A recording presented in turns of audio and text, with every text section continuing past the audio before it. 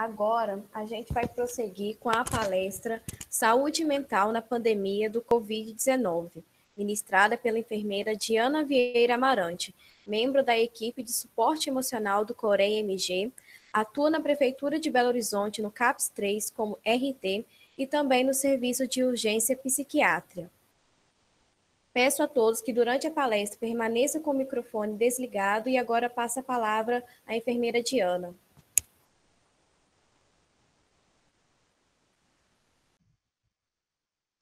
Oi, gente, boa noite.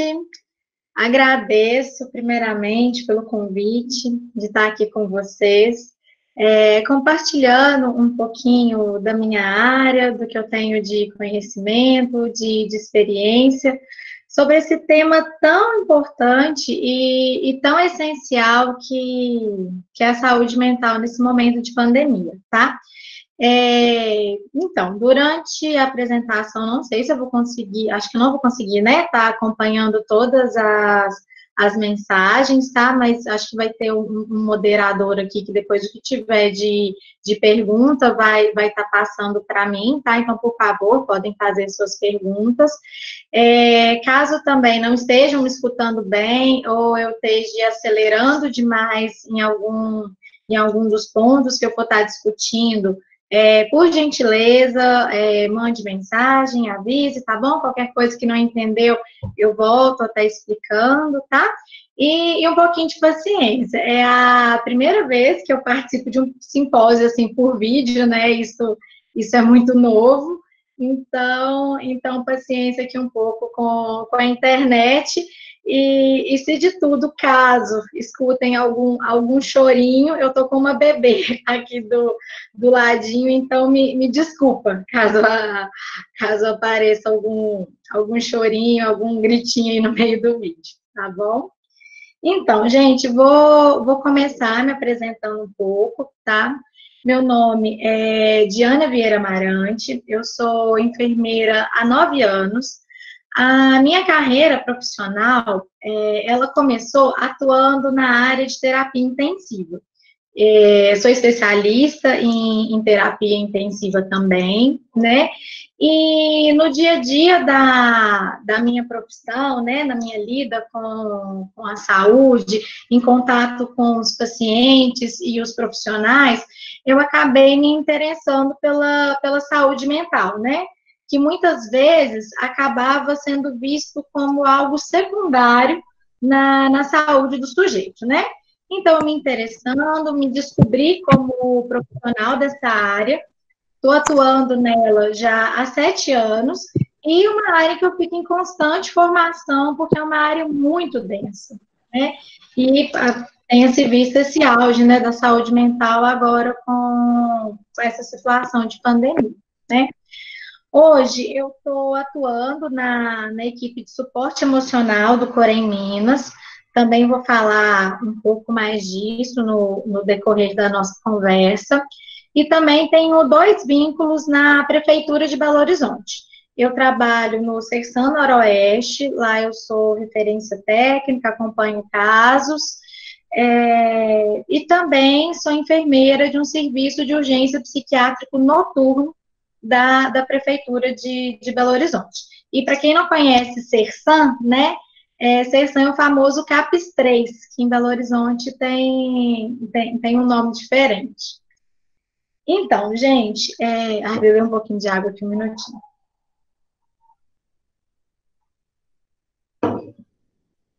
Então, é, me convidaram para estar tá falando um pouco sobre, sobre a saúde mental diante desse contexto da, da pandemia do Covid-19, né? E quando a gente fala de, de saúde mental, não tem como é, a gente não lembrar que uns anos, é, de uns anos para cá, a saúde mental vem ganhando um pouco mais de visibilidade, né? Seja em discussões, sejam em propaganda, né? É, a gente vê vários estímulos pra, pra, para as pessoas estarem se cuidando, cuidando da sua saúde mental, né? E antes, a saúde mental, ela era só relacionada ao portador de sofrimento mental, né? Seja ele esquizofrênico, um depressivo grave, alguém que tem um transtorno bipolar, é dependente de álcool, de alguma substância psicoativa, né? Isso está sendo desmistificado um pouco. E hoje nós temos a, a saúde mental com foco é, no autocuidado, né? Igual eu falei, das pessoas estarem cuidando da sua saúde mental, fazendo algo para si, é, para as pessoas que estão no seu entorno, e também a saúde mental voltada para na saúde do trabalhador. Também a saúde mental aparece para gente como um desafio de, de saúde pública, e até relacionando ela com alguns fatores é, econômicos. Haja visto que é necessário né, uma boa saúde mental para que o sujeito seja produtivo e, e contribua para a sociedade. Mais para frente eu vou falar um pouco dessa, dessa relação, saúde mental, economia e, e e como né, isso, isso é uma coisa, uma questão política muito importante, esse cuidar da saúde mental. Então, é, e assim, de, de tão atual que tem sido esse, esse tema da, da saúde mental né, na pandemia, não tem como a gente não deixar de falar que na data de ontem mesmo, é, o secretário alerta é, para o risco de uma crise de saúde mental causada pela, pela pandemia, né? E aí a ONU lança um relatório de políticas públicas em, saúde mental. Muito, muito bacana. Tá, tá de fácil acesso no, no site da ONU mesmo, quem tiver, quem tiver interesse, muito bacana o material. Nesse contexto, é, a ONU fala que está se aproximando né, uma crise global de doenças mentais, com agravamento dos casos que já existem e um aumento no número de novos casos de pessoas adoecidas. E nesse relatório que, que eles fazem, eles ressaltam também a piora dos indivíduos adoecidos diante de alguns estigmas e discriminação que, que eles sofrem, né, pela, pela sociedade. A gente sabe que, que infelizmente, existe essa discriminação do, do portador de sofrimento mental, é, muitas vezes a, a moralização também, né, e e a gente precisa de tentar desestigmatizar o sofrimento mental. E isso é um processo muito longo, né? Que é necessário muitas conversas, igual a gente está tá fazendo aqui. Mas voltando então a, ao assunto lá da, lá da ONU. A ONU, ela pontua que o Covid, ele não está atacando somente a saúde física das pessoas, mas também ele está aumentando o sofrimento psicológico. Aí você pensa, existe o luto pelos falecidos, perda de emprego, isolamento, todas as mudanças na, na rotina, né, da rotina da família, o sentimento de insegurança, de receio, de medo, né?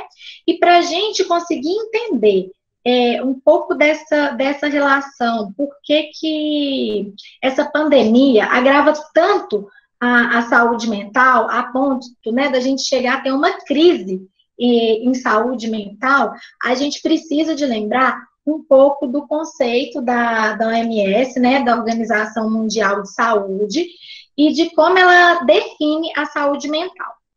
Então, o que a OMS fala é que a saúde mental é um estado de bem-estar em que o indivíduo usa de suas próprias habilidades para se recuperar do estresse rotineiro, ser produtivo e contribuir para a sociedade.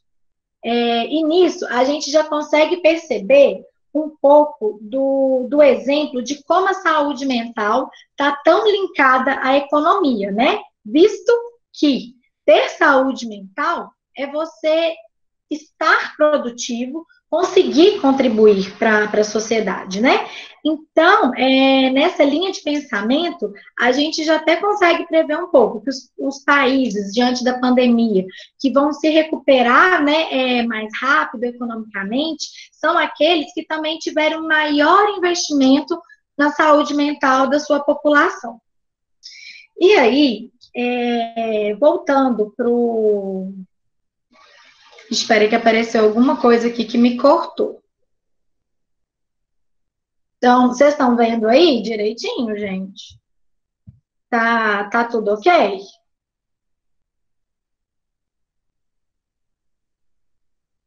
Tá tudo ok? Que apareceu uma coisa aqui na minha tela que eu não sei se vocês estão vendo. Tá tudo tá. ok. Tudo ok? Não, beleza. Então, vou, vou dando continuidade aqui. Então, a gente volta, voltando um pouco né, no, no que a OMS define como saúde mental, né, esse bem-estar geral do, do indivíduo, né, ela, ela fala que não existe saúde plena, né, saúde, entre aspas, plena, mas não existe essa saúde no todo do sujeito sem saúde mental. É, e aí ela ela fala que, que existem uns determinantes, né, para que a pessoa é, possa ter uma boa saúde mental. E aí ela coloca que a saúde mental, ela, ela é determinada por uma série de fatores socioeconômicos, fatores biológicos e também fatores ambientais. Então, vamos pegar. É, três links, então, que, que correlacionam né, a, ao bem-estar da, da promoção da saúde mental. Então, é, pegando esse primeiro item, que é a, os fatores socioeconômicos. Hoje, nós temos a pandemia do, do Covid, que afeta as condições socioeconômicas de todo um país, né? Ou, ou podemos dizer até, até do mundo, né?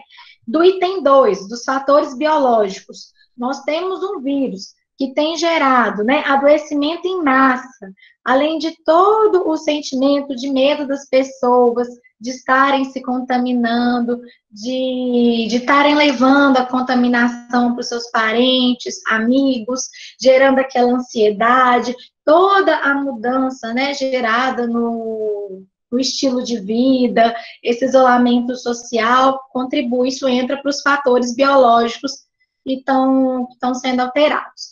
E três, quanto aos fatores é, ambientais, né?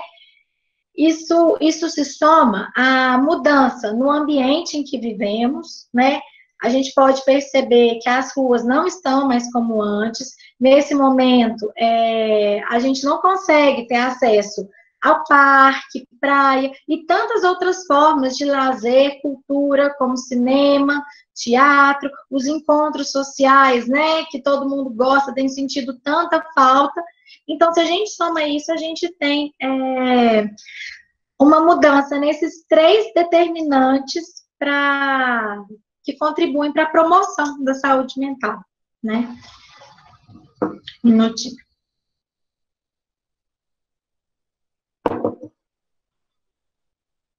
Então, gente, e aí, diante dessa, dessa gravidade, que é a pandemia, peraí que cortou aqui e voltou. Diante dessa gravidade, que é a pandemia para a saúde mental e que traz a saúde mental para o foco da, da saúde pública, esse relatório da ONU, ele lembra que por muitas décadas houve um negligenciamento, um pouco, um pouco investimento dos governos na, na saúde mental, né? Mas que hoje, é, o momento que a gente vive, ele demanda de que os serviços é, de atenção à saúde mental, os serviços psicossociais, eles sejam mais robustos, que eles sejam ampliados, que eles tenham maior é, investimento. Então, hoje está muito relacionado é, a saúde mental com, com a questão política também. Como eu falei, está relacionado também até com, com a economia, né? Então, vamos falar um pouco agora sobre, acho que deu para entender, né, da importância da, da saúde mental para o país, como política, né? E, e, aí vamos conversar um pouco sobre o impacto é, dessa pandemia para os profissionais, para a sua saúde mental. A gente precisa de lembrar que um dos maiores grupos de, de risco, né, para o adoecimento de saúde mental durante essa pandemia são os profissionais que, que estão na assistência, que estão na linha de frente. E a gente sabe que quem está na, na linha de frente, a maioria dessas pessoas, né, é, fazem parte da, da enfermagem. E dentro desse profissional, desses profissionais, a gente tem outra maioria que são as mulheres, que, que muitas vezes levam uma jornada de serviço dupla, até tripla, né? Tendo que, que gerenciar a casa, fazer os serviços de casa, cuidar dos filhos, lidar com uma rotina dos filhos agora nova, né? Que é sem, a, sem ir para a escola, né? E todo esse contexto que, que a pandemia teve, que, que ela muda, né? Igual igual a gente vê um pouco nos, nos posts atualmente, né? Que das previsões de, de 2020, ninguém é, ninguém estava prevendo dar banho em saco de arroz, né? Coisas, coisas do tipo de tanto que mudou a nossa rotina, né? Às vezes é álcool espalhado pela casa, é, as rotinas de às vezes não entrar em casa com sapato que veio da rua, né? Muita coisa mudou. Os profissionais de saúde que estão nessa linha de frente estão, estão mais inseguros com isso, mais susceptíveis a essa contaminação pelo, pelo maior contato, né? Isso tudo é fator de risco para o adoecimento mental, né? E falando assim, a gente já tem então que a maioria desses profissionais é a enfermagem, na sua maioria mulheres, e falando de um modo geral dos, dos profissionais de saúde, da enfermagem que estão na linha de frente, né? É, eles têm lidado com esse medo constantemente de estar contra, contraindo né, o vírus por estar fazendo assistência a casos suspeitos, confirm, confirmados, né?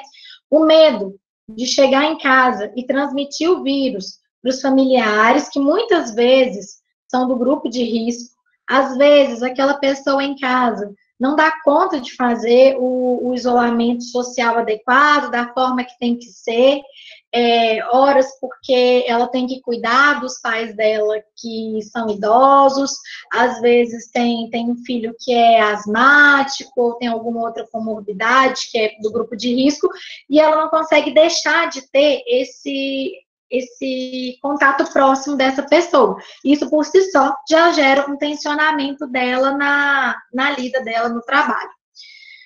E aí a gente também, é, com essa situação de, de aumento dos leitos, né, dos hospitais, leitos de terapia intensiva, é, leitos de avaliação clínica, a gente vê toda a saúde voltada para o atendimento clínico ao Covid, a, a gente vê, já tem notícias de que muitos hospitais profissionais que antes estavam trabalhando em áreas administrativas, áreas que necessariamente não eram da, da assistência, como, por exemplo, faziam parte da, da CME, né?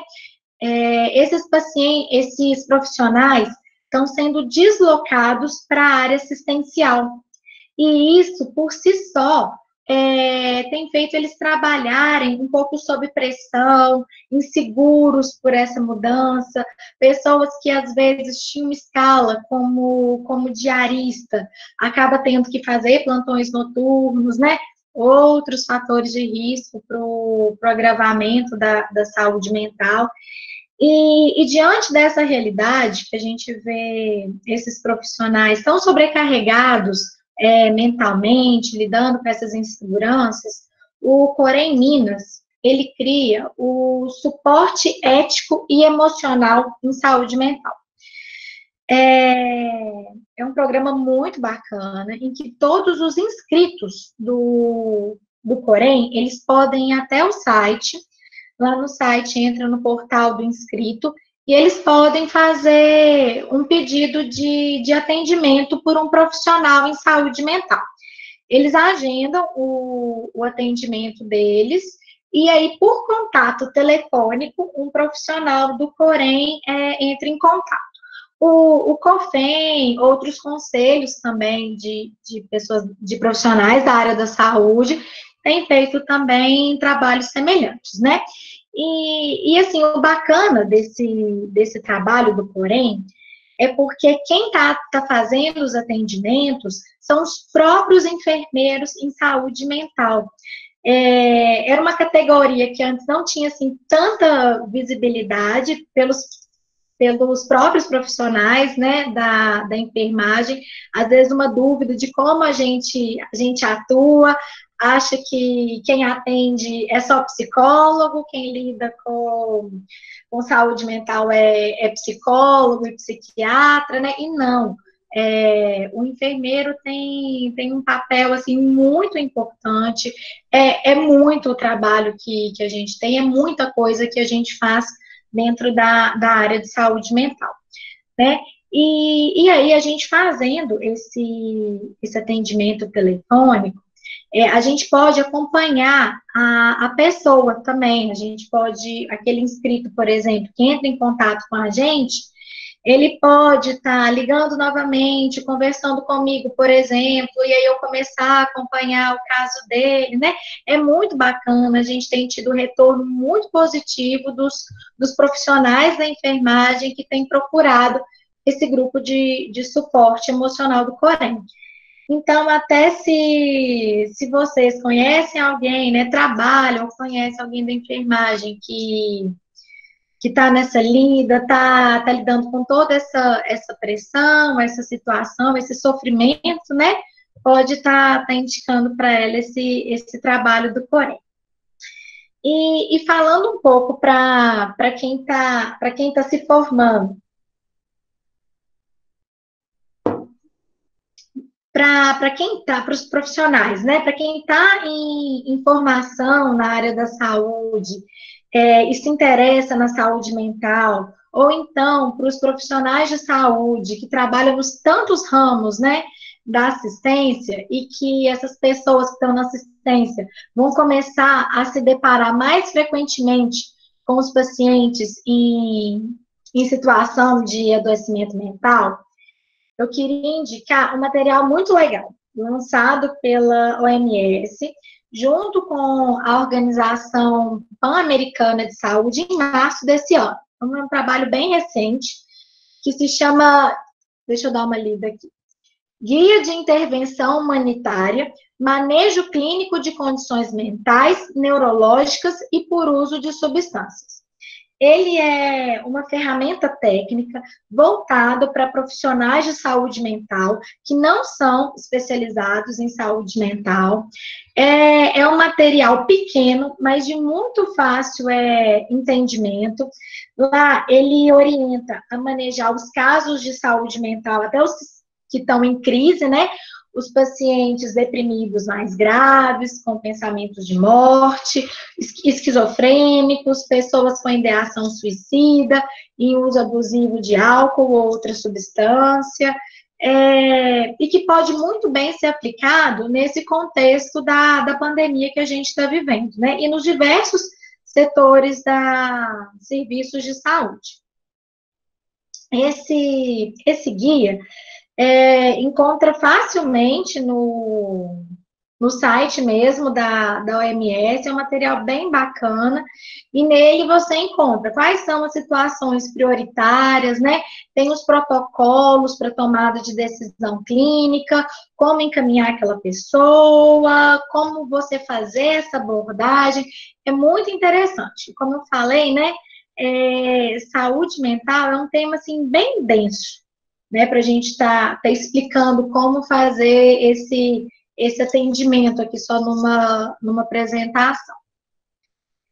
E, e, falando um pouco, então, do, do nosso autocuidado né, em saúde mental. Recentemente, foi, foi objeto de, de publicação da OMS e também de muita discussão a relação oscilação emocional e nossa imunidade. Acredito, né, que vocês, é, estudantes da saúde profissionais, com certeza já ouviram muito falar disso. E dessa discussão, né, é, dessa, de como a gente fazer para cuidar da nossa imunidade, estar tá bem emocionalmente, né, foi tirado três encaminhamentos para que a gente possa se preservar, cuidar mais da nossa saúde mental em um momento tão delicado, né, que é, que é esse que chega até a gente diversas informações, muitas notícias pesadas, é, vemos muitas vezes mortes sendo tratadas com frieza, e isso se soma às nossas preocupações, mudanças na rotina, privações, e acaba isso tudo contribuindo para um prejuízo da, da nossa saúde mental. Então, essas três orientações, esses encaminhamentos, são os seguintes. Primeiro, é, cuidarmos do fluxo de informações que nós procuramos, o que chega até a gente. É, tentar fazer com que esse fluxo de informação não seja algo tão contínuo, que não venha até nós o tempo inteiro, né? Por exemplo, é, restringir uma hora, um momento do dia para que nós possamos estar nos informando, né? É, nesse momento, ainda mais nós, profissionais da saúde, é muito importante a gente estar informado, né? Mas a gente não ficar obcecado com aquilo de ficar o dia inteiro lendo notícias de Covid, de número de mortos, isso por si só é muito adoecedor. Então, é, reserva um, um, tempo do seu dia para você estar tá se informando. A informação é importante, ainda mais nós profissionais da saúde, mas vamos reservar, por exemplo, todo dia de manhã eu tiro para poder estar tá lendo as matérias do jornal, as atualizações que tem, é, ou então um período da noite, mas não deixar que isso fique o dia inteiro consumindo a nossa rotina, a gente falando nisso é muito adoecedor. Então, a segunda orientação, encaminhamento, é para a gente ter no nosso dia a dia um nível mínimo de previsibilidade. Isso significa o quê? Ter uma rotina, né? A gente mudou muito é, a rotina que a gente tinha com, com o isolamento social, né? E é, é complicado, às vezes, quem é mãe, principalmente, com uma criança dentro de casa, você adotar uma, uma rotina um pouco mais maciça, maçante, mais rígida, né? Mas a gente precisa de, pelo menos, organizar um pouco o nosso dia, ter minimamente é, uma, uma agenda, porque a questão da, da rotina, ela nos transmite um pouco de segurança, né? É só a gente pensar no seguinte: é, a gente para para perceber que tudo aquilo que a gente não sabe como vai ser, o que vai acontecer, acaba gerando uma insegurança para a gente. Por exemplo, quando a gente chega num ambiente que a gente não sabe o, com quais pessoas que a gente vai se deparar, como que vai ser aquilo, aquilo por si só já gera no nosso cérebro uma sensação de um sentimento de medo, de ansiedade, né?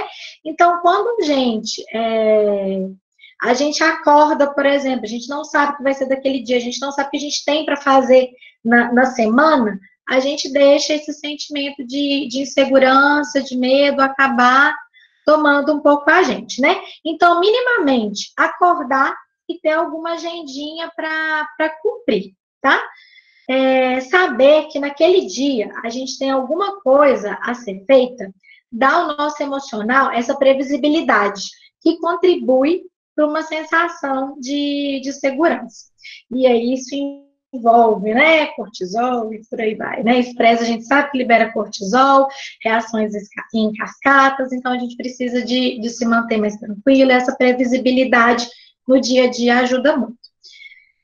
O, a terceira orientação e encaminhamento são exercícios de relaxamento guiado. O que, que são isso, né? É yoga, meditação. Tem se ouvido muito falar em meditação nesse, nesse tempo de pandemia, né? Todo mundo mandando o outro meditar. exercícios de, de respiração para quem ainda não dá conta de fazer, fazer meditação. São coisas que a gente encontra facilmente no, no YouTube, né? E que isso ajuda a alavancar a nossa imunidade, né? Esses, esses exercícios de relaxamento, eles podem também ser substituídos por alguma atividade do seu interesse. Atividades em que você se sinta bem fazendo e que principalmente é, a sua mente se concentre naquela atividade. Porque aí vai ser um momento em que você não vai estar direcionando o seu pensamento para coisas que causam ansiedade, angústia. Um exemplo, por exemplo, de uma atividade dessas é, é cozinhar. Às vezes, quando você está cozinhando, você precisa de estar tá pensando naquela receita, de prestar atenção naquilo que você está picando, no que você deixou no fogo.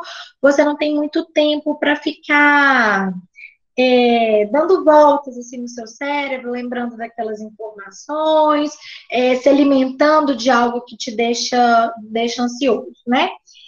Então, são essas, esses três é, encaminhamentos da, da OMS, que é muito importante a gente está até repassando para os pacientes que, que a gente acompanha, atende, passar isso para os nossos familiares e tentar colocar isso em prática. Então, assim, o que eu tinha para falar um pouco era isso, né? E aí agora eu queria deixar aberto para perguntas, saber se vocês querem que, é, que volte em alguma coisa. O que, que vocês têm aí de, de pergunta para mim, o que tem a dizer sobre isso? Bom, boa noite, enfermeira Diana. Boa Eu vou noite. fazer as perguntas que surgiram durante a palestra, tudo bem? Aham, beleza. É, a primeira pergunta é: uso excessivo de telas nesta época de, de distanciamento social pode contribuir para a diminuição das nossas habilidades sociais, especialmente em crianças e adolescentes? Então, gente, em crianças, adolescentes, né, tem bebês, tem estudos que, que comprovam isso, essa, esse prejuízo na socialização, né? E só que também a gente precisa de pensar para só voltando um pouco para adultos, né? Não tem muita coisa assim que comprove, por exemplo, você ficar trabalhando o dia todo no computador, que isso vai gerar um prejuízo para você. Mas tem quando isso está relacionado ao sono. Então, por exemplo, aquela pessoa que vai para a cama dormir e às vezes acha que para para ajudar a pegar no sono, mexer no celular, isso ajuda? Aí sim, isso é algo muito prejudicial. Isso, isso é um tema à parte, uma, uma conversa longa até, mas é muito prejudicial nesse momento do sono. Em relação ao, ao desenvolvimento né, de crianças, essa exposição excessiva é sim prejudicial, mas eu falo assim que a gente precisa um pouco de bom senso, porque a gente está vivendo uma situação completamente atípica. E você ter uma criança em casa, é, às vezes naquele pico de, de energia, que toda hora está procurando alguma coisa para distração e tal, né?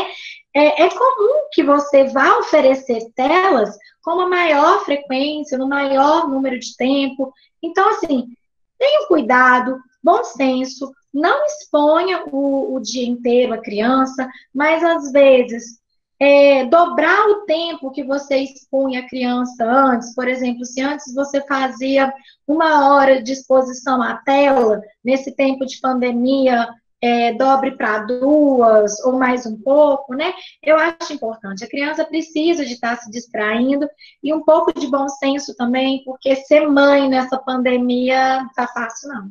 Isso eu tô falando de cadeira. Mais alguma pergunta, gente? Temos mais algumas. A outra é: qual a sugestão para não se deixar levar por doenças mentais neste momento? Então, gente, é... primeiro, quando a doença mental já já está se instalado o adoecimento, a gente precisa de tratar, ponto, né? Mas que para que a gente não tenha um prejuízo da nossa saúde mental, vale a pena a gente lembrar daqueles três encaminhamentos da do OMS, que é a gente cuidar do fluxo de informação que a gente está recebendo, é, isso não, lembra, isso não significa não se informar, tá? Só ter cuidado com esse excesso de coisas que estão chegando, às vezes o dia, o dia todo, às vezes a gente assusta, e esse foi o único assunto do nosso dia. Então, cuidado com isso, né? Número dois, é, ter um mínimo de previsibilidade no nosso dia a dia, que é a questão de estar tá fazendo uma agenda e tentar cumprir ela um pouco. E terceiro, os exercícios de relaxamento guiado, que, como eu te falei, primeiramente, né, são é, yoga, meditação, exercícios de respiração, mas para quem, né, é, às vezes não se adapta a fazer esses exercícios, não gosta muito, se envolver em alguma atividade que você goste, que você relaxe, que você se distraia, fazer isso diariamente. Respondido? Claro. a outra pergunta é: a senhora teria dicas para lidar com a procrastinação nos afazeres com tanto tempo disponível e não se culpar por isso? Como controlar o distúrbio alimentar com o aumento da ansiedade? Gente, então, eu acho que a primeira, a primeira coisa é não se culpe tanto, né? É, é uma, como eu falei, é uma, é uma situação assim que a gente nós não pensamos em estar tá passando por isso, né? Não é todo mundo que dá conta de, de fazer igual umas blogueiras que, assim, acorda de manhã e tem aquela rotina de exercícios físicos e depois ainda vai, faz, faz um curso online e tal. Não é todo mundo que dá, dá conta disso, não, né? Essa, essa pandemia gera sofrimento, angústia. Às vezes a gente não dá conta de, de se concentrar, de, de fazer uma atividade, seja porque a gente está um pouco num nível de ansiedade que a gente não consegue se dedicar a algo, ou então porque também a gente não dá, às vezes a rotina em casa fica tão pesada com criança, por exemplo, que a gente não dá conta de fazer todo dia no mesmo horário um exercício físico. Então, gente, não se culpe, né? E quanto a. Vai, vai ser comum mesmo, né? Não é todo mundo que vai dar conta de, de fazer as coisas, né?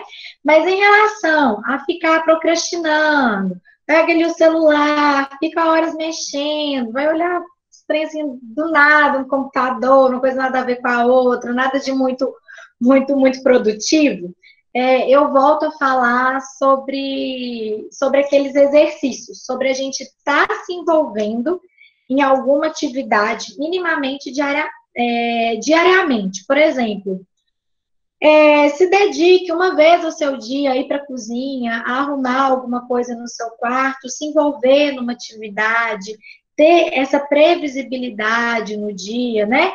Vai ser comum a pessoa que está muito ansiosa acabar, enfim, procrastinando um pouco, né? Mas que ela tenha uma agenda de alguma coisa para fazer no, no dia dela. Mas não se culpe, porque é uma, é uma situação muito atípica mesmo que a gente está passando e nem todo mundo dá, dá conta de fazer todos esses cursos, exercícios, tudo que muitos aí falam, aproveita o tempo livre e faça. Exatamente. Muito boa a colocação da professora Tati Vasques. Não tem como se cobrar nessa época, né? A meta é sobreviver. É. A outra, a outra pergunta é: o material que você comentou no momento da apresentação é todo voltado para a intervenção pós-transtorno ou nesse material aborda a condição da promoção? Então, nesse material, é, ele aborda a, a emergência, né? Ele não tem um enfoque na. Isso eu estou falando do. É, esse material da, da OMS ele não tem um foco, por exemplo, na, na prevenção e nem num tratamento a longo prazo. O que o enfoque nele é no agudo, é no que chega para você. Então, por exemplo, é uma pessoa que às vezes trabalha num, num ambulatório de feridas, né? Com, com essa pandemia, o paciente dela que está indo até ela, às vezes vai apresentar, né, umas, um, um, sintomas de desestabilização, vai falar de pensamentos de morte, vai falar sobre, sobre suicídio, ou então, às vezes, aquele paciente dela, por exemplo, é esquizofrênico, ela está percebendo que ele aquele paciente está apresentando um pensamento mais desorganizado, ideias frouxas, nessa né, desestabilização, como agir nesse momento. E caso, em algum momento, aquele, aquele profissional é, acabe ficando na linha de frente, como, por exemplo, quem trabalha no pronto atendimento, às vezes vai se deparar com tentativas de autoextermínio, né? Como você abordar aquele sujeito. Então, ele fala desde como tem que ser essa, essa primeira conversa, como que você vai estar chamando ele, é, a que você encaminha. Então, é muito bacana para quem é profissional da saúde ou para quem está em formação é, e tem interesse pela saúde mental, dar uma lida. É, um, é uma coisa assim, um material bem curtinho mesmo, ao meu ver, são, são poucas páginas, rápida leitura, fácil compreensão, mas muito interessante e, ao meu ver, nesse momento é essencial. Temos mais algumas. É, a senhora teria alguma dica para conseguir ter mais motivação nessa época de quarentena? Ai, gente, é mais motivação. Nossa Senhora. Quem tiver me conta também. Porque tá muito difícil, né? Eu acho que acho que para todo mundo. E, e eu acho que o, o que ajuda a gente a ter motivação é nós termos propósito. Então, é você pensar no, no propósito da sua vida, no seu planejamento futuro, pensar que dos seus planos, né, não significa que você vai ter que parar com, com esses planos, né, é, deixar eles de lado, mas não, vai, eles vão ser adiados. Eu acho que, pode nos, nos motivar, né, é, a gente pensar nesses planos no futuro. E eu acho que como profissional da saúde, né, eu como profissional da saúde mental, eu, eu me sinto muito motivada, por exemplo, em estar ajudando as, as pessoas nesse momento. Então, buscar se você é profissional da saúde, o que, que você gosta de fazer, o que, que você pode fazer para estar tá contribuindo nesse, nesse tempo de pandemia, o que você pode fazer para o outro, isso nos, nos, nos, motiva muito, sabe? Mas uma coisa em específico que gera motivação não tem, né? Às vezes o que vai gerar motivação em mim não vai gerar em você. Mas fica isso, né? De tentar se envolver naquilo que gosta, de, de tentar procurar fazer algo para o outro e de não, não interromper nenhum plano, somente adiar mesmo. Eu tenho uma pergunta também. Meu nome é Ramile e eu, eu, por exemplo, eu sou estudante de enfermagem, estou no sétimo período. E eu trabalho também no, no, ambiente, num, num hospital.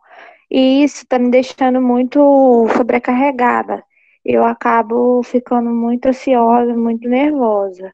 Eu já tomo um medicamento para ansiedade, mas mesmo assim eu ainda estou muito nervosa. O que, que pode estar, estar me ajudando para minha ansiedade?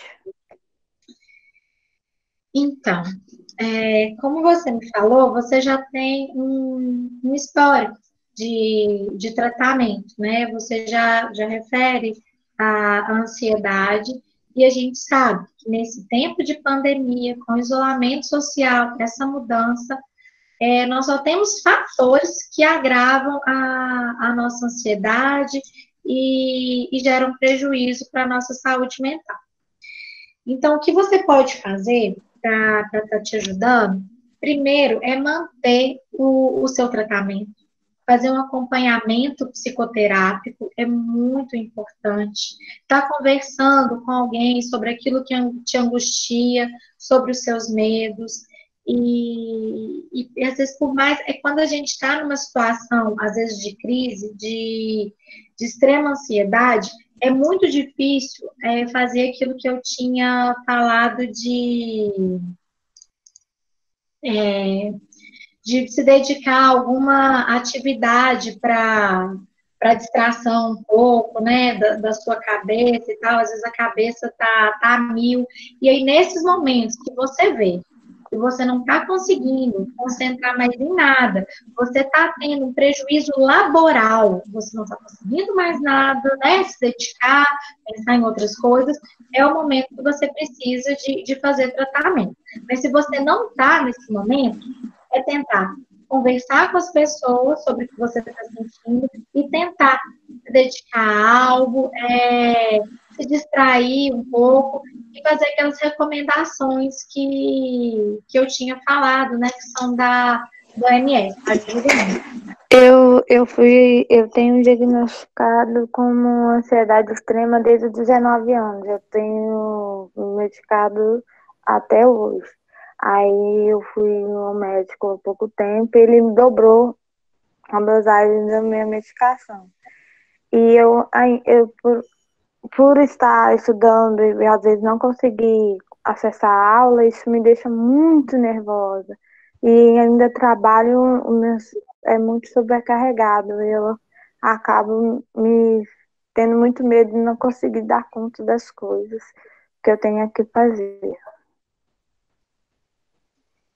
Então, é, é aquilo que, que o relatório da ONU fala, né? Que, que essa crise, nessa crise de saúde mental, as pessoas que, que já têm algum adoecimento é, podem acabar agravando esse, esse seu adoecimento diante dessa pandemia, por todos esses, esses fatores, né? E, e assim, tem que.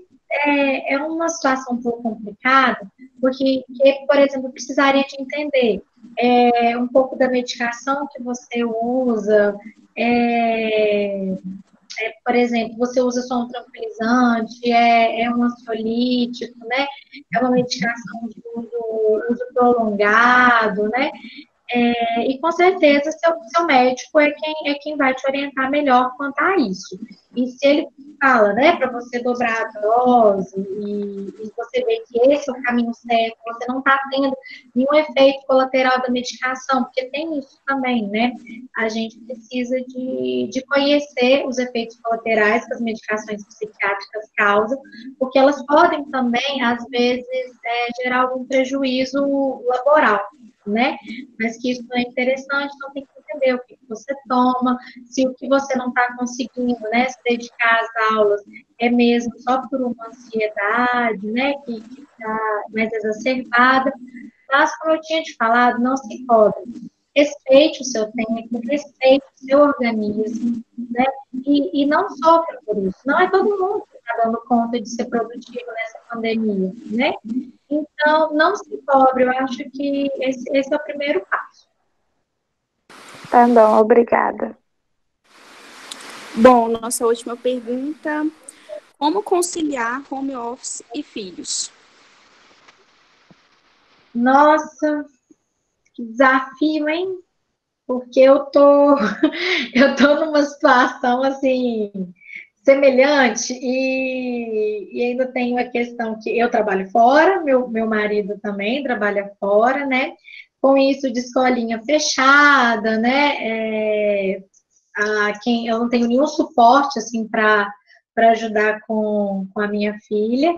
E, e aí eu dependo muito, por exemplo, do meu marido, quando ele está em casa, para ele ficar um pouco com, com a minha filha, para que eu possa trabalhar em casa, fazer alguma coisa, e também ainda às vezes saio para dar plantão, né? Também estou tô, tô trabalhando fora de casa. E é muito difícil conciliar mesmo home office, é, conciliar home office e filhos. Isso é um desafio e que eu acho que não tem outra resposta que não é procurar um suporte e aí vai muito de, de se você tem alguma outra pessoa na sua casa, se você tem alguém com quem contar, porque é muito complicado, né? Nesse isolamento, é, a gente não pode deixar mais os filhos, por exemplo, com, com os avós por ser grupo de risco, né? Às vezes você tem uma mãe que é hipertensa, asmática, você também não pode é, solicitar a ajuda da sua mãe, né? E, e aí é um desafio. Muitas vezes, por exemplo, é, o tempo que eu, que eu consigo tirar para trabalhar é o tempo que ou meu marido está com a minha pequenininha, ou então é o tempo que, que ela está dormindo, ou também o tempo que ela se distrai mais com algum brinquedo. Mas, nossa, é um desafio. Olha, não não se cobre de ser muito produtiva no, no, home office com filhos, porque até hoje eu, eu não conheci assim, ninguém, nenhuma colega minha de trabalho que está assim, conseguindo é, o 100%, 100 da sua produtividade no home office com filhos. E às vezes, até sem filhos, gente, porque às vezes você está em home office, mas a, a pandemia, né, essa situação toda te deixa tão ansioso, gera um prejuízo na sua saúde mental, que por si só você não vai conseguir produzir é, aquele 100% que você produzia antes na empresa. Então, volto a dizer, não se cobre, é uma situação atípica que a gente está passando. E o que nós precisamos é de cuidar da nossa saúde mental. A gente sabe que está para vir um boom de, de adoecimentos mentais, né? Então, vamos nos cuidar, cuidar das pessoas que estão em nosso entorno, e, e acho que esse que é o recado para hoje. Bom, nós encerramos as perguntas agora. E nós, Ano Facid, agradecemos a você, enfermeira Diana, pela sua disponibilidade, pelo comprometimento com o nosso simpósio. Foi de grande aprendizado e foi um prazer ter você conosco. Obrigada, espero ter colaborado é, alguma coisa. Desculpa, às vezes, é uma falta aqui de traquejo nisso de meio live, meio essa apresentação online, né? A gente está tão acostumado, às vezes, a, a, a, coisas presenciais que quando é uma coisa assim online, eu pelo menos eu fico, eu fico um pouco perdida, sabe? Isso de, de falar para a tela, né? Mas me desculpem alguma coisa, espero que eu possa ter contribuído alguma coisa para a formação de vocês. E cuidem da saúde mental, por favor. Tem uma integrante da nossa lista aqui, a Patrícia M. Alves, ela está perguntando se se você tem alguma dica de um livro de autoajuda. Ah, livro de autoajuda é uma coisa que eu não gosto muito de indicar, não, porque é uma coisa muito particular, sabe? Que vai muito assim da, da linha do escritor, sabe? É, eu acho isso, isso, um pouco complicado de estar tá indicando aqui, né? Mas, é, assim, para quem procura é, se conhecer melhor, é, tá cuidando mais da sua saúde mental, eu acho que a gente consegue muita, é, uma literatura assim bacana é, nos próprios sites de, de organizações de saúde que hoje vem falando muito desse tema. Como, por exemplo, eu falei, né, que, que a ONU, por exemplo, né, lançou um guia recentemente, é, site da OMS, a gente encontra material bacana. Eu acho, acho complicado estar tá, tá indicando algum, algum livro assim por aqui. É uma coisa muito particular. Muito obrigada. E nós também agradecemos a presença de todos. E a gente vai encerrar o nosso primeiro dia do simpósio. E lembrar que amanhã, às quatro horas, vamos ter mais duas palestras. Obrigada pela presença de todos e uma boa noite. Boa noite, gente. Tchau, tchau.